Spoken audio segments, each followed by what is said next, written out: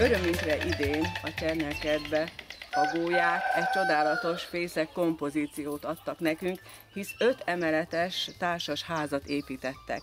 Úgy érzem, hogy ez nem túlzás, mert ha közelről megnézzük, valóban a gólyáink öt szinten alakították ki idén a fészküket.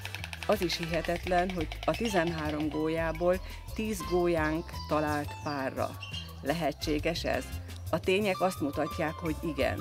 Sőt, már három fészekben gólyatojást is láthatunk, reméljük, hogy ez a kezdet továbbra is ilyen sikeres lesz.